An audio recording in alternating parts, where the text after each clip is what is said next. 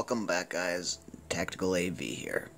So, about a month ago, my Marantz receiver blew up the amplifier module inside of it for a specific reason. At that point it went into protection mode and would no longer power on anymore.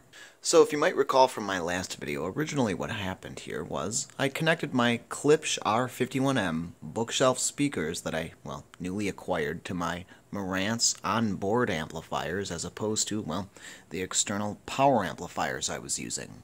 And well, everything worked wonderful, but I'm going to talk to you guys a little bit about speakers and, well, amplifiers. You see, not all speakers are created equal.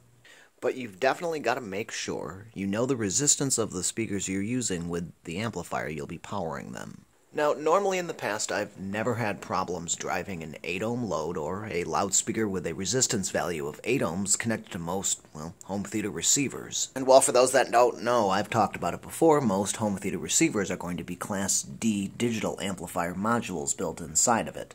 So, plain and simply, what happened to this amplifier is the amplifier module blew inside of it let's talk a little bit more about what exactly occurred to my Marantz.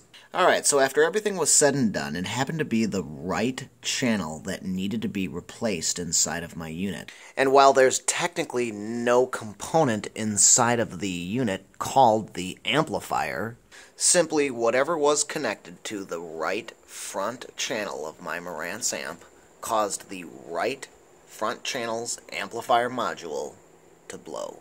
And well, it meant bad luck for me because, well, the amplifier would no longer turn on anymore. But I definitely learned some lessons after going through this ordeal. So for those of you that don't know, my Marantz amplifier here happened to be under warranty at the time of which it broke. And while most of us know anything under warranty, well, if it breaks, you don't have to pay for it. And so I contacted Marantz and got to work found a local repair shop that was authorized and licensed by Marantz to do any repairs. In fact, that's one of the main reasons I'd like to mention when you buy electronics, well, you want to make sure it's from an authorized dealer. And in case something like this happens to your electronics as well, well, you can easily go back to that authorized dealer and well, provide proof of purchase and deal with the warranty that way. And well, not long after, I dropped my receiver off at the repair shop I chose and received a phone call letting me know exactly what I had expected to hear. Exactly. You see, when the problem had occurred, there wasn't any audio actually being emitted from the speakers, and so the amplifier wasn't playing any audio at the time the amp blew. However, you've got to be careful with this. I oftentimes use Spotify to connect directly to the receiver or other amplifiers using the Wi-Fi connection. And, well, when this happened, I was going through my phone constantly pressing connect to Spotify because the connection, well, was dropping out. Shortly thereafter, in one of the Klipsch speakers, the right one, I heard a loud pop. And, well, from being well rehearsed with electronics, I knew exactly what had occurred and was very. Let's just say I found the situation to be unfortunate for myself. In fact, it was quite interesting that I found that the repair person that actually performed the necessary repair on my unit happened to be an employee of Marantz in the past and performed the exact type of work for the company before. But after a complete inspection and everything on the unit was gone over, well, let's just say we're back in business.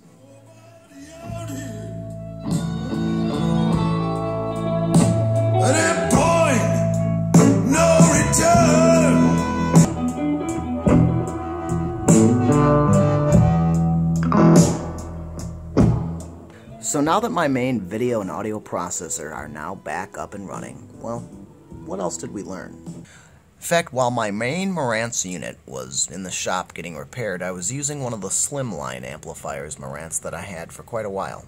Been using it in my bedroom. Okay, so why really did my Marantz amplifier blow the right channel inside of it?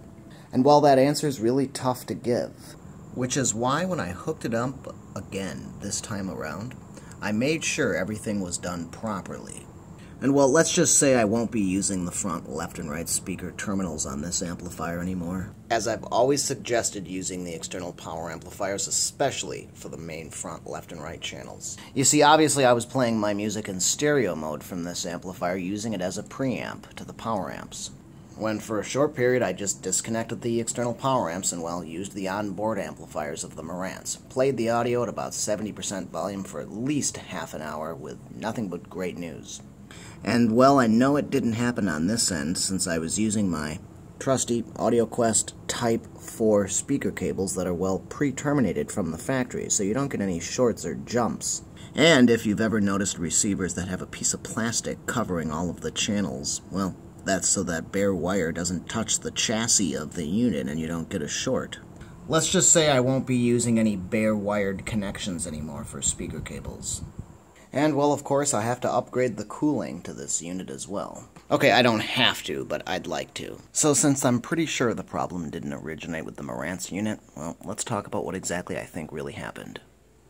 You see, some speakers aren't exactly a complete flat 8 ohms all the time. And well, depending on what type of wire you're using and what type of connections at this type of connection, well, you can definitely get electricity jumping between the two, positive and ground.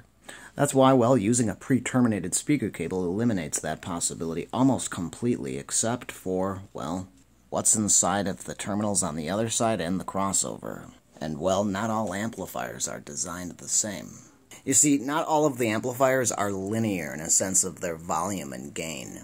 So think of it like this.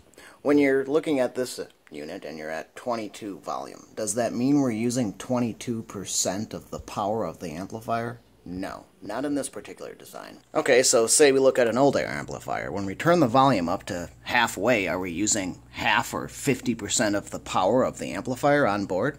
No, that's not necessarily how a lot of designs work, in fact. And of course, that isn't the way sound, or SPL, works. You see, sound pressure isn't dead when there's no sound, and you're never going to reach 0 dB with complete silence in your living room. But with an amplifier design like a lot of the surround sound receivers, let's just say there's a lot less going on inside of it at lower volumes than when you turn it up to, say, 70% volume and higher than that. At that volume at most amplifiers, we begin to almost tap out, and, well, let's just say not everything you'd expect to happens happens at this volume. Okay, so what does all this mean?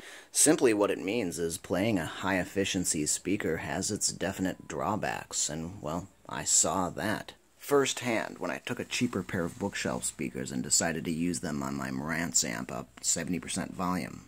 You see, that's going to be the main drawback with a lower powered speaker. So lesson number one, cheap speakers, expensive amp, not a good mix.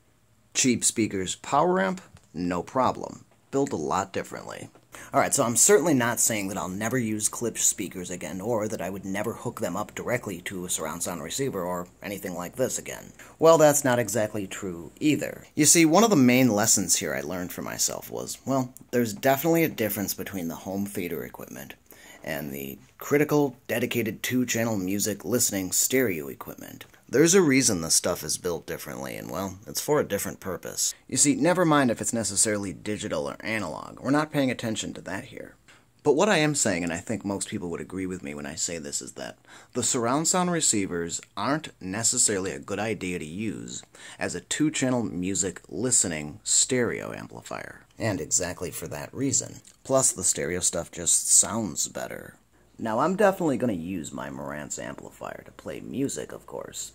Let's just say I won't be taking any budget bookshelf speakers and, well, connecting them directly to my Marantz anymore.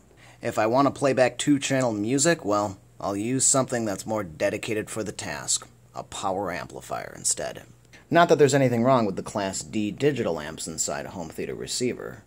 You just simply don't run that much of a risk using the stereo equipment, it seems. But for now, at least, we're back to business. Well, I can focus on things as usual. And well, the amplifier has never sound better.